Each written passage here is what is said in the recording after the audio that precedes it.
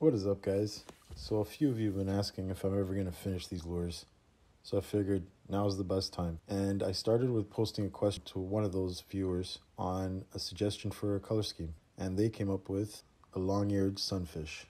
I was thinking of fabricating a long eared gill and then attaching it to the side of the lure. Let's see what we can do.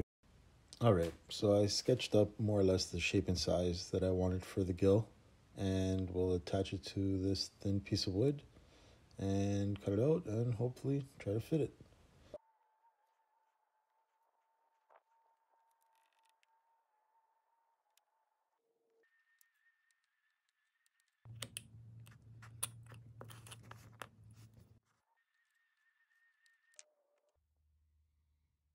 Here's the first gill that I've cut out and shaped and the back I have to accommodate the gills so I cut out these little notches that will hopefully help it set right in and seems like it'll fit good.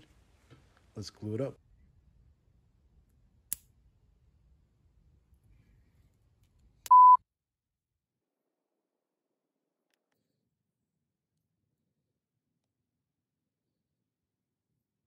All right, guys, I got both sides glued up and next up is polyurethane clear semi-gloss. And this stuff is awesome. Gives you a wicked surface to paint on and dries pretty quick. Okay, so before we dip this thing,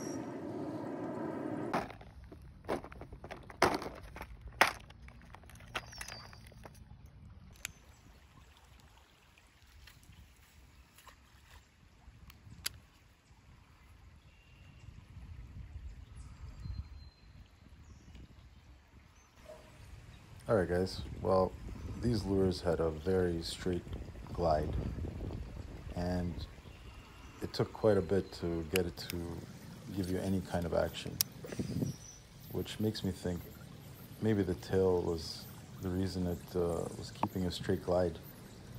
And I should have put it on a swivel or maybe added a lip. Something to think about for the future. But for now, it still works pretty good. I was thinking of making a test tank so I can avoid getting far in a build without knowing exactly how the action is. But for now, that's it from me. Thanks for watching. See you guys on the next build.